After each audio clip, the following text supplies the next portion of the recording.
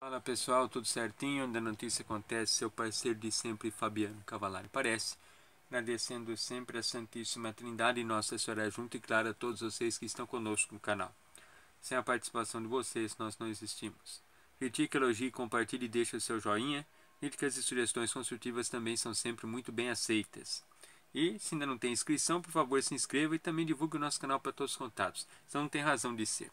Estamos na segunda-feira, dia 6 de junho de 2020. O sino que vocês estão ouvindo no fundo aí da Igreja Santo Antônio de Pádua, aqui do Campos Elíseos, em Ribeirão Preto, apontando para meio-dia. No meu aqui são 11h56, 93% da bateria do celular. Muito bem, é, como não estou muito a par da notícia, a gente vai falar a respeito dela e dar uma, um leve pitaco, modo dizer. Se não me engano, foi na última quinta-feira ou sexta-feira, uma postagem no status do WhatsApp que colocaram do A Cidade On, Jornal A Cidade na internet, a página, né? Porque o Jornal A Cidade não é mais de papel, ele é só virtual. Então, no A Cidade On, dizendo que essa questão do lockdown em Ribeirão Preto, né, de não acontecer e tal, só que parece que o MP, que é o Ministério Público, se eu não me engano, agora não, não sei, por isso que eu não estou muito a par. Então, a gente tem que falar o que a gente tem propriedade. Quando tem propriedade, a gente vai é, cerceando, né? Assim, na medida do possível, vai falando sobre o assunto.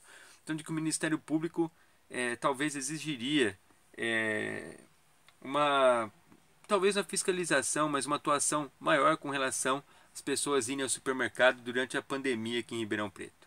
Bom, tudo bem que eu preciso me adentrar mais no assunto, só que a gente já tem uma leve ideia, né? Se é realmente nesse sentido, por que, né?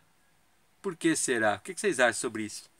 Questão aí, porque supermercado precisa, né? A pessoa precisa comprar seus produtos, comida, se alimentar, enfim, às vezes paga uma conta também, outras coisas. O que vocês acham sobre isso? Uma ótima semana a todos, muito Deus no coração e com a Santíssima Trindade na hora junta a gente chega lá. Quando a notícia acontece, Fabiano Cavalari aparece. Na bota.